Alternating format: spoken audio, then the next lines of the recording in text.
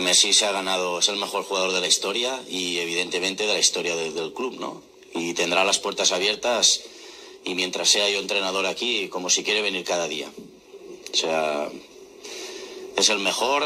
Eh, creo que el club, como club, le debemos un homenaje eh, grande porque se lo merece. Muy buenas amigos culés, ¿qué tal estamos? Mirad el gesto de Jordi Alba en la celebración del Inside al ver que el 10 del Barça no es Messi. Tremendo. Atención a esta noticia bomba de última hora.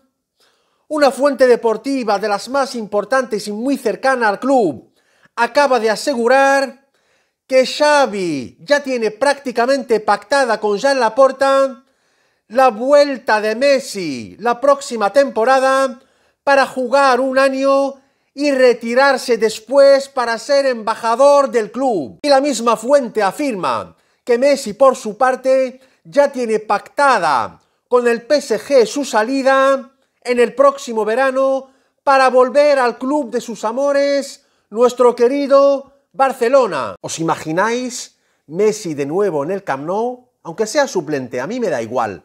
Pero verle de nuevo en el Camp Nou marcando goles, ¿eh? A mí se me pone la piel de gallina.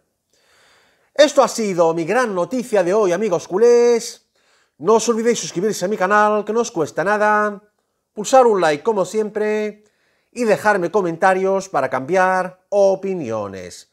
Muchas gracias, Forza Barça por siempre y nos vemos muy pronto en mi próximo vídeo.